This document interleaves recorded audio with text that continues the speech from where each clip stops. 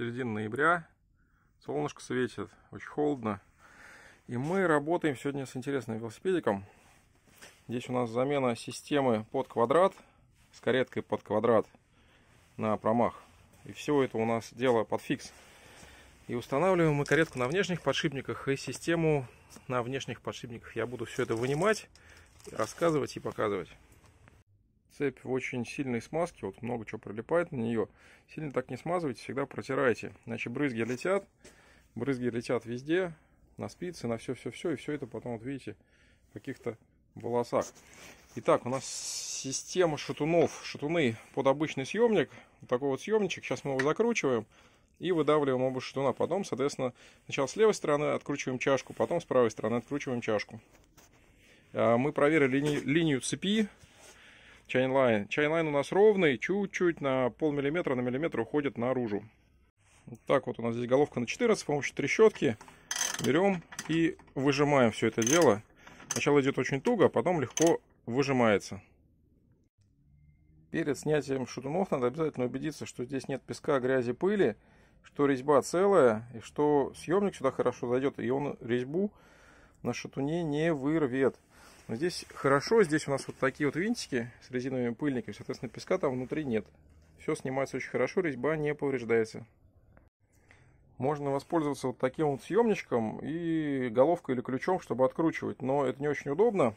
Мы изготовили вот такой вот длинный рычаг, то есть это труба 40 э, на 25, наверное. Очень удобно лежит в руке, здесь отверстие, ключ надевается вот таким вот образом на каретку.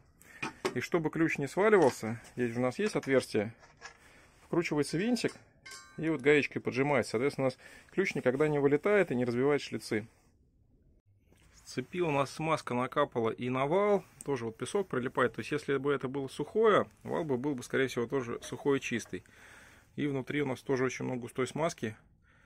Каретка ВП, это самая недорогая каретка, которая только бывает. Не вижу, сколько тут длина вала. 110 110 длина вала. Соответственно вот здесь мы будем наверное не ставить ни одной чашки проставочной под новую каретку. Внутри очень много смазки и песочку там вот немножко есть. И внутри чашки тоже у нас песок.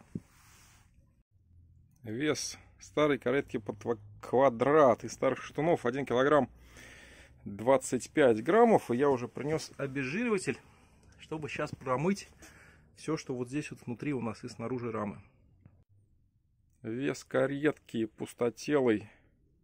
Э, вес каретки с внешним подшипником под пустотелую ось и новой системы. Новая система у нас Мише Пистара Air. Всего 845 грамм. То есть почти 200 грамм мы экономим.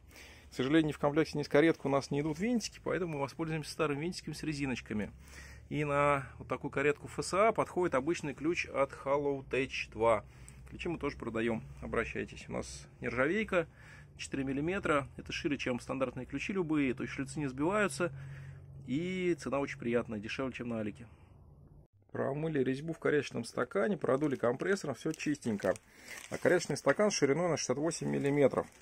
Каретка, вот такая вот, Мега Экса, идет у нас тоже под дорожную систему, под ширину стакана 70-68 миллиметров.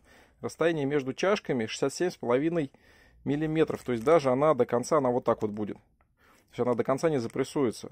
Соответственно, никаких проставочных колец здесь нету в комплекте, и мы их ставить тоже не будем. В чем все-таки отличие Мега Экза от обычной э, шимановской каретки? То, что у него вот здесь вот резиновый пыльник внутри есть еще один. Вот этот вот синенький резиновый пыльник, чтобы грязь не попадала внутрь подшипника. Все, сейчас на силиконовую смазку сажаем каретку в кареточный стакан. Затем смазкой хорошей синей матюлевской смазываем всю ось, чтобы она легко запрессовалась пыльники, и чтобы она не окислялась, чтобы не окислялись посадочные места, чтобы было потом легко вынуть. И тонким-тонким слоем вот эту синюю смазку, чтобы все посадочные места не окислялись, чтобы ось не окислялась, чтобы сами посадочные места в подшипниках не окислялись. Что-то я зря про винты сказал. У нас идет самый выжимной левый шатун, а справа же у нас ось пустотелая. Так что вообще никаких винтов не нужно, все само собой здесь и вжимается, и выжимается без каких-либо съемников. То есть не нужно ни съемник, ничего, нужно только большой ключ под 6. Шестигранник под 8 или под 10. Так, из недостатков. Очень длинный винт и посадочное место. Винт в этом посадочном месте не болтается, то есть он плотно сидит. И приходится винт закручивать, одной рукой держать вот эту штуку, одной рукой держать вот эту штуку, одной рукой держать за шатун, чтобы винт наживить, чтобы шатун не прокручивался. Шатун первый раз идет очень плотно, несмотря на то, что посадочные места смазаны. Прям вообще такую силу я прикладываю, чтобы его туда запрессовать. Конечно, я проверил шлицы, даже открутил, посмотрел, что все нормально садится. Сажаю еще раз. Ну, прям очень-очень туго идет. Еще раз решил выпрессовать, посмотреть, что так плотно идет. Вот о чем я говорю. То, что крутится шатун совершенно свободно, а винта там еще, наверное, сантиметр. И как бы не за что держаться, неудобно. То есть нужно и шатун центрировать, да, относительно посадочных мест, и крутить ключ, и крутить систему. То есть не хватает вот здесь вот небольшого люфта под винт. Очень плотные посадочные места. То есть вот здесь вот везде ось заходит нормально, а вот там вот видите, как будто бы она со смещением заходит. Очень странно при том, что все пазы абсолютно одинаковые. Центровка стоит правильно. Видите, вот, вот там вот на трех шлицах, как будто они шире, чем надо. А все остальные шлицы идут хорошо, ровненько. Интересно, то есть, может быть, неправильно подшлифовали, или может специально это сделано, чтобы туго насаживать шатун, чтобы он не разбалтывался. Даже на смазку как-то очень-очень туго идет на эти посадочные места решил я открутить. Можно воспользоваться, например, вот таким вот съемником. Открутить вот эту крышечку. И у нас здесь вот такой вот большой винт стоит мощный. И вот он очень длинный. Он, к сожалению, не дает ну, нормально посадить шатун перед тем, как закручивать. Это неудобно. Вот настолько резьбы уже закрутилось. Я так понимаю, здесь фиксатор, поэтому идет тоже туго. И давайте смотреть, что у нас с посадочными местами. Вон там у нас, видите, аж три заусенца. То есть отфрезеровано не очень качественно. И у нас три заусенца. Либо это специально сделано, чтобы плотно село. С этой стороны в одном вот месте есть небольшой задир. Вроде бы. Ну, вот так вот будет хорошо. То есть, видите, вот здесь вот в одном месте задир. А нет, ну, в принципе, на всех. На всех видно, что чуть-чуть, чуть-чуть пазы шире, чем надо. А точнее уже пазы, а шлицы шире. И из-за этого шлицы заходят очень плотно и начинают задирать шатун. Может быть это хорошо, но у меня пока сил не хватает. Сейчас я эти заусенки сниму надфилем, наверное, или ножичком остреньким. И попробую еще раз насадить, но очень туго идет. То есть вот буквально осталось там миллиметров 5, не могу, невозможно насадить. Все, снял заусенчики ножичком. Сейчас попробую на силиконовую смазку еще раз все это дело насадить. Здесь единственное, что вот пыль налипает. А резиновое колечко главное не потерять. Вот это резиновое колечко, оно как бы как пыльник, упорное такое, между штуном и чашкой. Так, решил я еще раз проверить. А, шатун со стороны звезды у нас почти сел, мне кажется, там полмиллиметра осталось. А здесь у нас, смотрите, еще сколько места свободного. И если у нас стружка, да, вот чуть-чуть все равно кое-где. То есть э, ширина шлицов на валу больше, чем пазы. И очень плотно заходит, подрезает стружку, даже несмотря на смазку.